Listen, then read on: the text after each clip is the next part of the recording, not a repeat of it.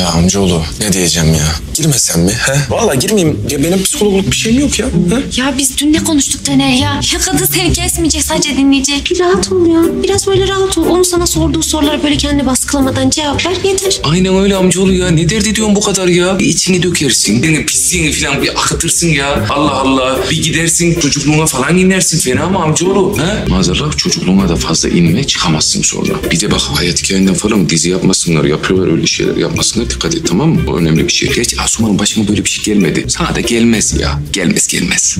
Tamam la tamam. Tamam gireceğim. Allah Allah. Belli ya sizden kurtuluş yok gireceğim. Yakamdan düşmeyeceksiniz anlaşıldı. Da bana bak. İşe yarar mı la? Ne diyorsunuz? Lan yaramaz olur mu amcaoğlu ya? Ulan var ya Asuman bu kadını öve öve bitiremiyor. Çok iyi diyor. Kendine de çok iyi geldi yani. Çok iyi hissediyordu. Hasta kalsın Asuman'la beraber girmiştim içeri. Bana da çok iyi geldi amcaoğlu. Kuş gibiydim ha. Vallahi seanstan bir çıktım. uçacaktım.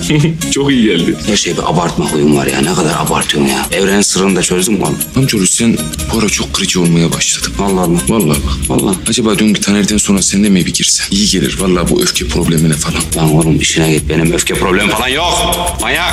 Kendi işine bak. Aa şimdi ben size terapi uygulayacağım ha. Sopa terapisi. Bir kendinize gelin ya hastanedeyiz. Ay bak hanımefendi de burada bizi bekliyor.